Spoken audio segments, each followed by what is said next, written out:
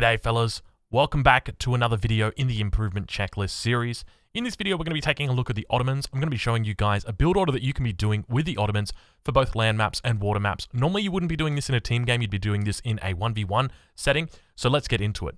I'm going to start by moving all of my villages over onto the wood crates with the exception of three, which are going to go over to this large bison. I'm going to start by moving the bison, the bison villages first and then dividing them up amongst the wood crates. Explorer is going to be going over to the trading post. And then we're going to, after we've, we've gathered a little bit on the bison, we're then going to be moving these guys over to wood. And I'm going to explain to you guys exactly why we do this. Now, in the previous videos, we haven't actually, uh, one of the things that we haven't done is we haven't taken any treasures. But in this video, we're actually going to be taking a treasure. Because you can pretty reliantly get a 40 or 50 coin or wood treasure.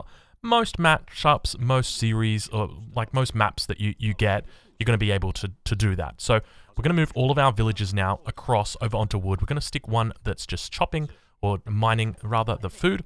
We're going to send all the rest of these guys out. Shift, we'll bring our explorer down here. And so the idea is that we're going to be dropping this market and we're going to be getting hunting dogs as soon as we can. Now, we need to keep enough resources in our bank so that we're able to drop that house down as well. So that's why we're chopping up that uh, that wood. You can see that we're at 135 at the moment, so we're going to make sure that we stop once we get to 150. So we're now going to be able to research hunting dogs and then move our villagers off so that we can drop down a house. So as you can see, we've got enough resources to start off with a trading post, with a market, get hunting dogs, and to drop a house as well. Now, if we didn't have that coin treasure in our base, I probably wouldn't have do done what I've done. Uh, I would have just left it uh, the wood and probably put it towards a mosque. But the idea is that we're going for a more economic play with the Ottomans.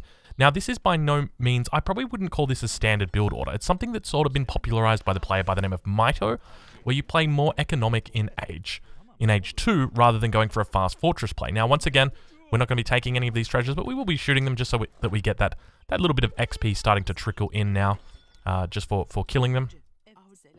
Misclicking on a bison just there, but uh, being very careful just to not lose any uh, any any villager seconds on uh, on these bison. There's another 40 coin treasure there. We're just going to leave that one.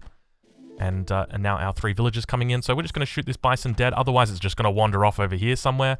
Even though it's probably it's going to rot on the ground. It's better that that we kill it and we actually uh, we don't lose that that food forever. Now, you might be thinking, all right, Drongo, but you chopped 50 wood. That's a lot of wood to chop in the early game for a civilization that wants to get up super duper early. Now, as I showed you, we only picked up that one coin treasure, and we're still looking like we're going to have a pretty decent age up time, aging up about 2 minutes 30, which is very, very standard for the Ottomans. So, a pretty decent opening, I would say. Now, in the transition period, we're going to begin herding, and we're going to make sure that we herd at least two hunts because the Ottoman will chew through that wood and uh, and one of the, the key points to note is that uh, we're going to be trying to get our steel traps upgrade ASAP. And we're going to be using that to our advantage and really just only chopping out or only only gathering food in the early game. So now we've got 100 uh, and and 25 uh, wood. So we want to be getting to this is uh, I know it seems like a lot 325 wood in the opening period of the game. And so we're going to be doing that we're going to be moving our villagers down to create a forward base as well. Uh, there's a little bit of a, a, strategy that we're doing. So 325 wood is the key. So 200 for barracks and 125 for that steel traps. That's what we're going to be looking at. And then we're going to start by just moving a few villages now over to coin. So all we want are 50, uh, all we want is 50 coin. That's it. We don't want any more. We don't want any less. And that's just so we can queue in our first two Janissaries. Otherwise, all the rest of the villagers are going to be on food. They're going to be gathering up that all-important food for us. Going to keep herding. We might move these two villages. These guys are going to be our forward villagers, so we'll move these guys down. Maybe move them out over here. And now we've got enough. Uh, so we've got 325 exactly. So we're going to be starting by dropping down our barracks. Let's maybe drop it down over here. So there goes the barracks. So we'll drop that one down and then moving our villagers over onto wood and sending in coin crates as our first shipment. So the coin crates are going to be used to provide us uh, enough resources to train up Janissaries. Uh, you can see that we've already overgathered uh, our, our coin there, so a little bit uh, of a mistake, but that's all right. That's okay. We still will get to use that coin at the end of the day. And now going to continue herding in. Going to continue just dropping down houses as well. Making sure that we don't overbuild houses. We really want to make sure that with, with our houses that we we just build the appropriate amount, so we only need to build two houses. So we, you can see that we've got that one Janissary in queue. We're going to get that second Janissary in queue now. So with this 700 coin, once it comes in, That's where we're going to be gathering it up with plenty of settlers so that we can get our steel traps in. We'll drop down another house as well. And we're going to go five villages now. And so now we begin queuing up our Janissaries. So you can see we're going to get five in the first batch. Let's get our Explorer in, ready to go, begin snaring. We've got steel traps coming in behind it.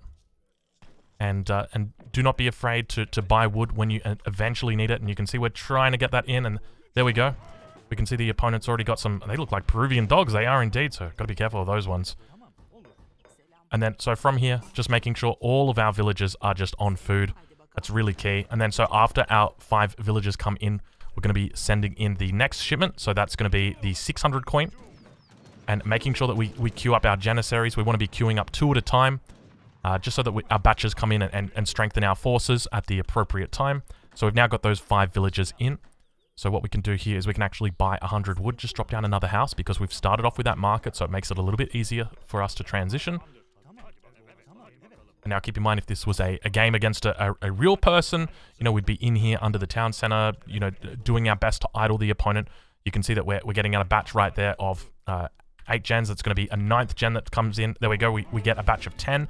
And so now we're going to go with the 600 coin. Now, the key with the 600 coin is you've got to wait a little bit of time before you queue your gens. So even though we can queue gens now, it's not going to be, they're, they're not going to be ready by the time uh, the 600 coin comes in. So we want to wait for it to be reaching just about halfway, and that's when we're going to queue it up, because otherwise we're going to miss that batch. And so that's what it's all about. So now I'm going to queue that up. That Explorer is very, very tanky. We managed to take him out, though. So now we've got those Janissaries in queue. So if we were to queue up another Janissary, that, that's fine. But now we've only got three Janissaries. Now keep in mind, if we had uh, if we had built those Janissaries or queued them, they'd be just about finishing right now, and it would mean that we wouldn't be able to do anything with them. So you can see we're just picking up all of the coin with our uh, our our villagers here, and then we're going to begin training out our Janissaries. There you go. So we get out another full batch of 10 Janissaries there, and then with that extra coin, once again, don't be afraid just to buy 100 wood drop down another house. And you can see we're at seven minutes now. We've got 28 Janissaries, and we're looking very, very healthy when it comes to our economy. We've got steel traps. We've got 22 villages. 23, take that back. Uh, and our economy is looking really, really strong. It's a great way to apply pressure to your enemy and at the same time really build up your economy. The next thing from here is to go 700 wood. And with this, you can add either a stable, you can look at adding in uh, an artillery foundry, but the most important thing is that you need to drop your mosque and you need to get ready to get the next upgrades uh, for your mosque. So your villages are about to run out. You can see right here that we're uh, we're sitting on 23 at the moment, and we're in dire, dire need of that wood uh, because we're uh, we're about to pop ourselves. We're about one population away from it. So as that 700 wood comes in, once again, you're going to be gathering it up as quickly as you can just so that you can drop down those houses. Try and finish those batches. It's going to be extra tight. I don't think we're going to be able to do it. We'll try our best, though. Let's see if we can drop down a house. Yeah, it's it's it's, it's not going to hit, but that's okay. Still getting a pretty decent batch here. So still pretty happy with that. So 36 gens at 8 minutes. So this is basically your your, uh, your very typical uh, double gen rush. So now dropping down the mosque. And behind this, you might want to drop down, say, an artillery foundry. So we can do that as well. So we'll just bring that out like that. And you can see that now our macro is beginning to look quite quite poor, just simply because we haven't been training the Janissaries that we needed to. Uh, so we're going to switch around our, our units, uh, put a few more villages here, and so we really badly need this upgrade because we're about to have our 25th settler in. So you can even sell a little bit of coin here. So we'll just finish our, our batch of Janissaries. We're up to 46. And now, finally, we're going to get our upgrade in here. So making sure that we get this upgrade to increase our villager limit. Other than that, fellas, that's essentially how you do the double racks eco gen rush. Uh, focuses on keeping pressure on the opponent in the early game while at the same time building up your own economy behind it. If you've liked this video, leave a like. If you think that I've missed something, make sure you leave a comment. And other than that, I'll catch you guys in the next one.